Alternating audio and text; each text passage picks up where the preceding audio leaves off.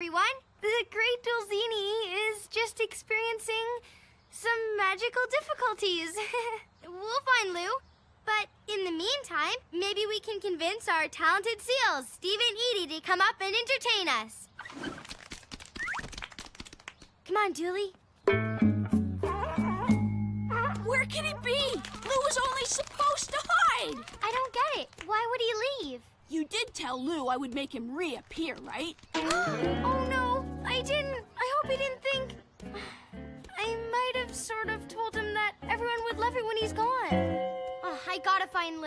Look! A trail! He went this way! Uh-oh.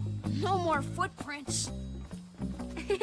I don't think that's going to be a problem.